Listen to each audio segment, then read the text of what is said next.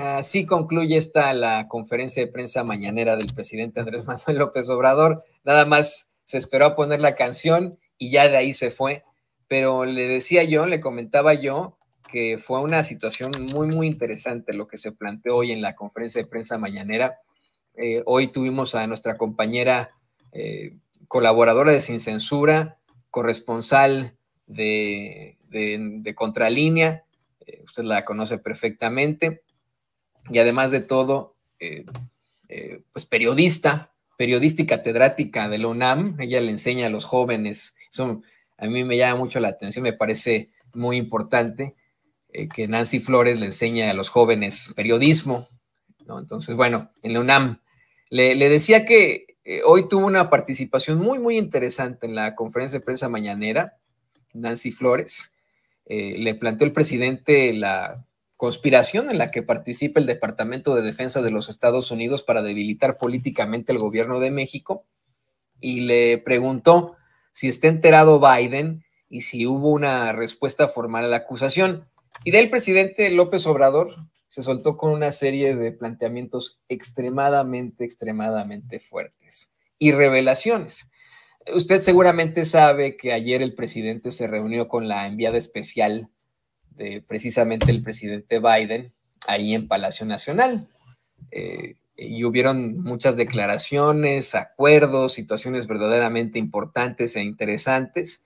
Bueno, se habló de esa reunión, se habló de situaciones que a lo mejor eran, eran hasta cierto punto confidenciales. Hoy en la mañana, en primer lugar, comentó el presidente que la relación con el gobierno del presidente Biden es muy buena, que siempre ha sido una persona respetuosa de la soberanía de México, pero que es, en todo caso, el gobierno de los Estados Unidos, eh, que esté quien esté de cualquier partido, del Partido Demócrata o el Partido Republicano, eh, pues tienen ciertas políticas que se aplican de tiempo atrás que son muy injerencistas. Y mire, no hablamos de políticas de hace cinco años, ¿eh? estamos hablando de políticas de principios del siglo XIX, de la, doctrina Monroe. Claro, el presidente ocupó un buen rato para explicar esto histórica y sociológicamente, pero al, al asegurar que no pierde la esperanza de que se integre América como eh, el ideal de Simón Bolívar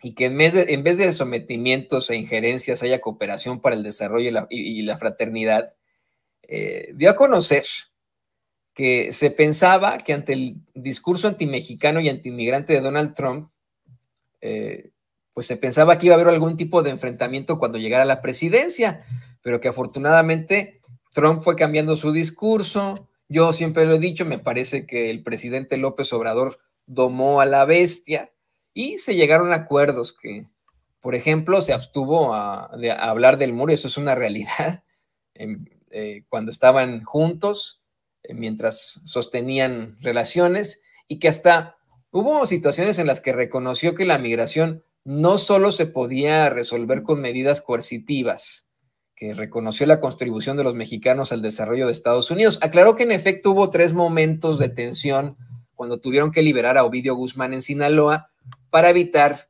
una masacre. Contó que Trump le ofreció apoyo y que él lo rechazó, que lo mismo pasó cuando mataron a varias mujeres y niños en esta masacre horrenda en Bavispe, ahí en esta la comunidad de los Levarón y los Miller, y que pues Trump le habló para decirle que podía enviar un comando a buscar a los delincuentes y que igualmente le dijo no animáis, no es necesario que se metan, que esto le correspondía a México y que así fue. Eh, que de hecho ya se han detenido a todos los que participaron en este horrendo acto. También comentó que un día le habló para pedirle su opinión porque querían enviar una iniciativa de ley para dar trato de terroristas a los narcos mexicanos y que también su respuesta fue que no estaba de acuerdo porque somos los mexicanos los que tenemos que cuidar nuestra soberanía y no podemos permitir que una fuerza armada extranjera entre en nuestro territorio, eh, por lo que pues termina convenciendo a Trump eh, e incluso el mismo Trump al día siguiente lo da a conocer. Pero mire, insiste mucho en este discurso, en este planteamiento, que no es Biden, que Biden es una persona respetuosa de México, una persona amistosa con México, que se ha demostrado que las relaciones se están llevando a cabo con respeto y con cooperación, con un pie de igualdad, con respecto a las soberanías de ambos pueblos, pero que eh, eh, esto es muy, muy raro, ¿no? Ahora resulta que mientras se dan este tipo de muy buenas relaciones entre México y Estados Unidos es cuando más injerencismo hay, ¿no? Eh, dice que no es Biden, sino miembros de su gobierno que actúan con mucha prepotencia. Exhibió que este espionaje, este hackeo a las Fuerzas Armadas no se hace solamente en México, sino en varias partes y que además esto debería ser investigado por el Congreso de los Estados Unidos, por la Cámara de Representantes. Debería haber una investigación sobre esto, pues no ayuda a que hayan buenas relaciones internacionales. Eh, y bueno, dice que en efecto eh, una campaña exagerada porque eh, pues decidieron ahí una serie de situaciones entre ambos países y esto provocó que hubiera algún tipo de diferencia por ejemplo, cuando decidieron que el control del espacio aéreo mexicano estuviera a cargo de la Secretaría de la Defensa Nacional porque era un asunto de seguridad nacional. De hecho, usted seguramente sabe el drama en estos momentos del globo chino, ¿verdad? Sabe que eh, hemos tenido la incursión de varios globos chinos aquí en los Estados Unidos. Recientemente uno pasó por Kansas City. Así, yo lo, lo llegamos a ver, pasó aquí por nuestra ciudad y muchas ciudades de, los Estados Unidos se ha planteado que es un globo, eh, pues, eh, espía, ¿no? Lo que dicen un globo espía chino, ¿no? Y se dijo que ah, venía un globo chino eh, por, el, por el Pacífico que iba a entrar por Colima y que iba a salir por Tamaulipas, ¿no? Lo confirma el presidente López Obrador, pero, pero con, con datos muy fuertes. Dice que le hablaron del Pentágono a la Sedena Imagínense, ¿no? el teléfono del Pentágono, las Sedenas son sus equivalentes, ¿no? Eh, teléfono del Pentágono, la Sedena. Oigan, fíjense que pues, les queremos pedir permiso de sobrevolar su espacio aéreo con aviones y con drones. Claro, claro, de alto nivel tecnológico militar, porque pues queremos ver qué onda, qué pex con ese globo que, viene de Hawái, ¿no? Que va a pasar por México, eh, que viene por ahí por, por China.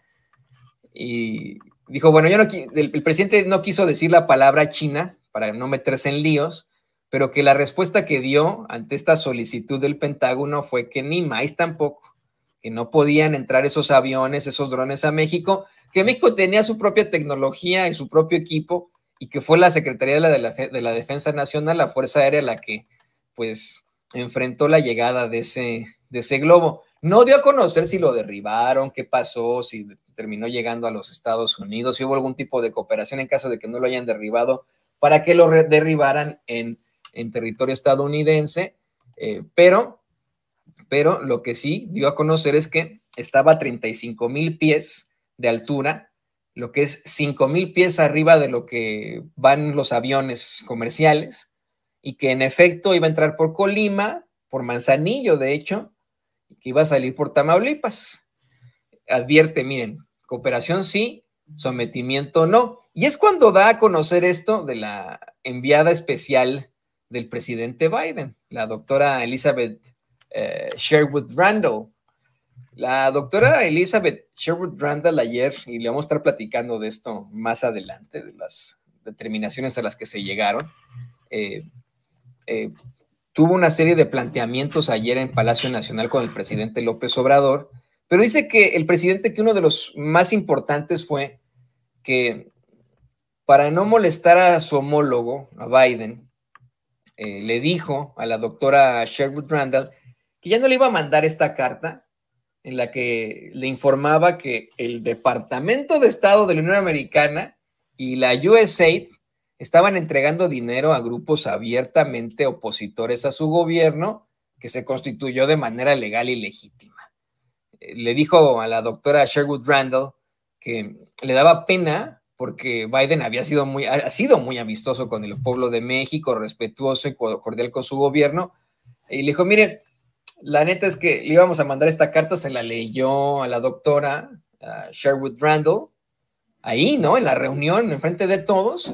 Dijo, ¿sabe qué? Ya no se la voy a mandar, me da pena con el presidente Biden, yo sé que él no tiene nada que ver con esto y que al final dijo, no sabe qué, siempre sí, y que al fin y al cabo sí mandó la carta por la actitud prepotente y ofensiva de algunos miembros del gobierno de Biden. Mientras platicaba esto, surgieron los gritos pelados, bueno, varios corresponsales le cuestionaron a López Obrador a grito pelado qué le dijo la doctora Sherwood Randall ante la denuncia. Y el presidente dice que la funcionaria estadounidense le comentó que ella estaba segura de que el presidente Biden no estaba enterado de este asunto y que pues lo lamentaba mucho. Pues esto no tenía nada que ver con las relaciones que se tienen. Pero bueno, a continuación el presidente se puso a leer la carta y la cosa se puso interesante, interesante, interesante. Eh, por ahí más adelante, el presidente comentaría que hay periodistas, si se les puede llamar así, que celebran cada que hay una lanzada desde Estados Unidos contra su gobierno, como la misma Dolly Esteves, Carmen Aristegui y todos esos internacionalistas vinculados a la política neoliberal del antiguo régimen. Eh, planteó que esto, pues de todos modos, le ayuda a su movimiento a exhibirlos y que por eso no le quería mandar la carta al presidente Biden, pues insistió en que el mandatario estadounidense ha sido muy respetuoso. Advirtió que todo esto, y esto fue, y esto es con lo que me quiero quedar, con lo que usted también debe quedarse, porque es, es de lo que hemos hablado aquí en Sin Censura una y otra vez. Eh, hemos hablado del futuro, del futuro de México, del futuro del mundo, del futuro de nuestros hijos, de nuestros nietos, de nuestros bisnietos. Escuche esto, es muy, muy importante. El presidente aseguró que todo esto se está registrando en la historia, que va a pasar el tiempo y nuestros hijos, nuestros nietos, nuestros nietos se van a preguntar, ¿por qué mi papá o mi mamá? ¿Por qué mi abuelito o mi abuelita? ¿Por qué mi bisabuelo o mi bisabuelita? ¿Por qué eh, mi papá tal, mi, mi, mamá tal? Porque hace que los mexicanos le ponemos siempre el nombre de nuestros papás a nuestros papás junto al papá como eh, una forma que los queremos mucho. Bueno, ¿por qué nuestros papás, abuelos o bisabuelos no hicieron algo o no dijeron algo cuando de, manera prepotente le estaban faltando el respeto a nuestro país? Así es. Así es. ¿Por qué los que se quedan callados? Y sobre todo, ¿por qué existen los que buscan que gobiernos de otros países intervengan en México? Qué terrible, ¿no? Bueno, pues ya se la sabe el queridísimo Alexis, eh, que nos está viendo, nos está escuchando, otro de nuestros eh, productores, operadores.